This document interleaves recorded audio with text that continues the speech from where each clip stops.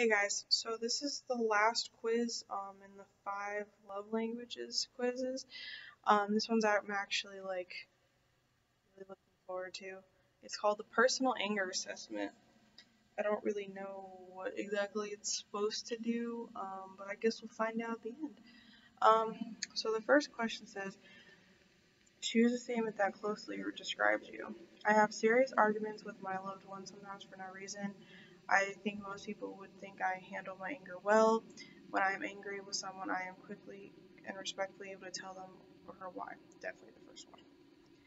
Um, I am very good at being, so all of these say like choose a statement that closely describes you. So I'm not going to keep repeating that. Um, I am very good at being quick to talk to someone when who offends me so we can work out the issue. I fly off the handle quickly. Sometimes it takes me longer than I'd like to get over being angry. It's kind of hard. I guess it just depends on what someone says. Um, probably the second one. Um, I occasionally feel regret about how I express my anger. I simply let bygones be bygones. I find it hard to forgive someone who has done me wrong. I probably feel regret.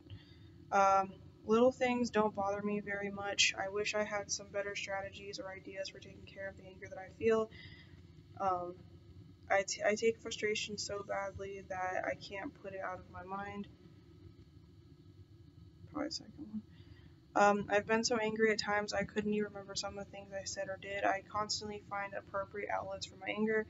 I'm usually able to figure out what it is that makes me angry. Definitely the first one. I don't generally like being angry with others. I have said malicious things about others to get back at them when I'm angry. I rarely, if ever, raise my voice in anger. First two. second one. I don't like being angry, but I've had trouble on the job because of my temper.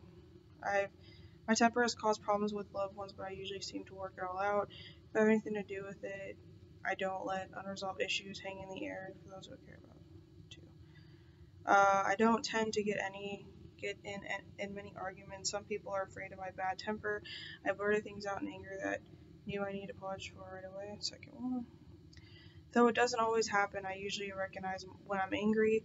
I have control over how I express my anger in vast majority of situations. I often break things when I'm angry.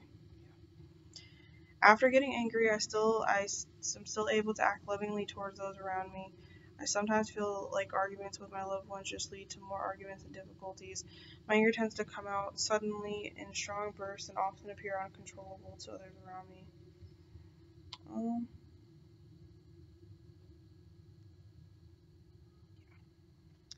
I just keep it to myself when I'm angry. I have to quick. I have. I'm quick to forgive others who have offended me. I'm usually able to resolve arguments with other people. After an argument, I find myself wishing I had thought of a better way to respond. People tend to think I overreact when I'm angry. I work hard on the facts uh, before acting anger. Uh, probably the first two, Jesus. Um,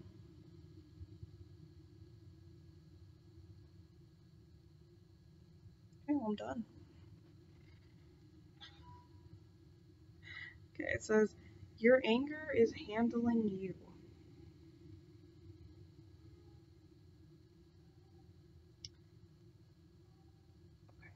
So let me see what it says. So it says, Your anger is handling you. Your responses indicate that how you are currently handling your anger could use improvement. You likely have many difficulties stemming from how you express your anger and how you relate to others during times of conflict. Your angry responses in many situations are likely exaggerated and create additional problems for you. You also may not understand why you respond angrily in certain situations or from where your anger is stemming. These difficulties likely demand further attention from you to either heal some broken relationships or to move ahead in a healthy way in other personal and professional situations. Consider the following possible for future action. Action steps 1. Your anger responses are likely driving people away quicker than you realize or want. It's important to take a serious look at your anger and how it is affecting your life. You will likely benefit from learning techniques that help you change your anger responses in the heat of the moment. While learning some of these techniques, however, you would also benefit from understanding what anger really is. In chapter 1, Dr. Chapman helps you define what anger is and where it comes from. Later in chapter 3, you will learn a unique and manageable technique for managing your anger responses. Okay, that's cool. Um, 2. Proverbs 29:11 says, "Fools vent their anger, but the wise quietly hold it back." Um, perhaps you've given vent to your anger for so long in so many situations that it's hard to remember what it, what it's like to keep it under control. Dealing with the long-term effects of anger can be difficult. You do well. You'd do well to make yourself very familiar with the specific anger management techniques Dr. Chapman highlights in this book. It may also be very beneficial for you to understand and identify Identify the effects of long-term anger as it re relates to your emotional well-being, some, something that is explained in greater detail in chapter 7 and 12. So that's all it really says, um, which I honestly wasn't expecting anything less. Um, but yeah, those are all the quizzes. So uh, I'll leave a link down below. That way, if you guys want to take the quiz, you can. Um, there's four quizzes. There's the love language quiz, the uh, apology quiz, appreciation quiz, and then the anger screening test thing. Um, so I'm gonna go, and I hope you guys enjoyed, and I will talk to you later.